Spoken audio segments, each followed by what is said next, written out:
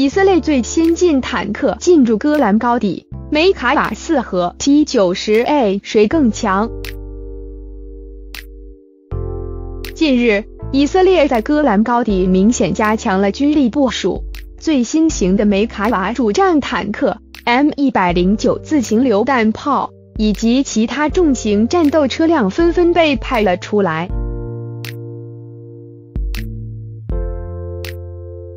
目前，叙利亚军队列装有俄制 T 九十 A 主战坦克梅卡瓦四，如果和 T 九十 A 相遇，将鹿死谁手。以色列梅卡瓦四主战坦克，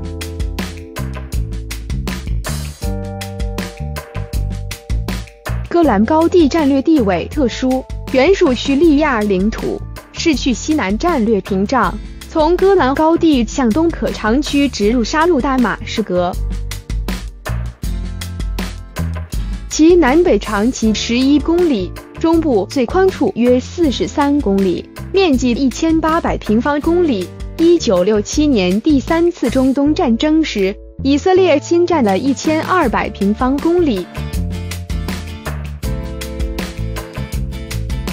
该地区原有上万叙利亚居民。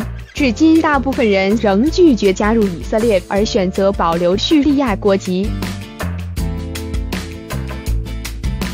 叙军多年来从未放弃对该地区的争夺，两国摩擦不断。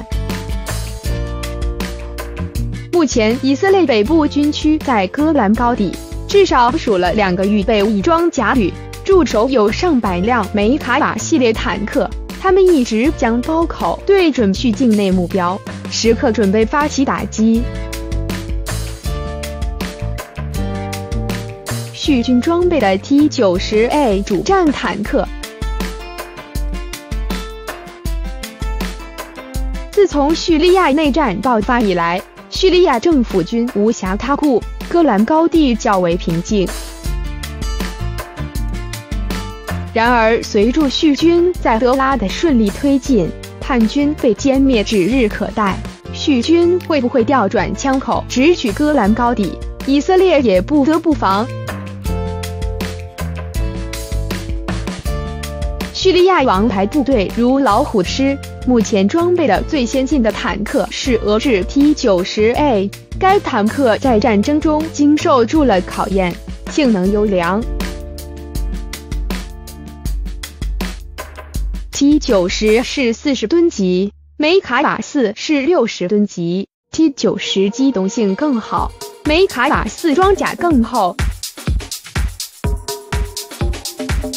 由于戈兰高地被称为中东水塔，谷内有数条河流，最宽处才四十多公里，所以并不适合大规模装甲集群的展开。如果相遇，也是小量目标之间的搏杀。梅卡瓦四装备一门一百二十毫米滑膛炮，T 九十是一门一百二十五毫米滑膛炮，配备有炮射激光制导导弹，能在五千米外打击移动目标。T 九十 A 主战坦克的模型。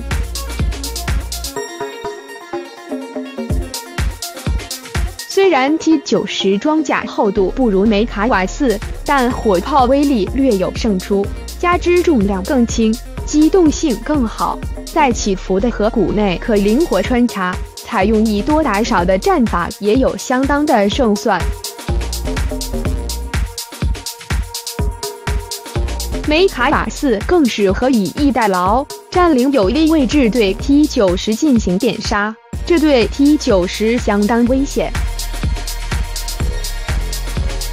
梅卡瓦四还安装了战利品主动防护系统，可对来袭火箭弹、导弹进行攻击；而 T 九十 A 安装有窗帘光电压制系统，主要破坏来袭反坦克导弹的制导头，那个效果更好，只有在实战中见真章。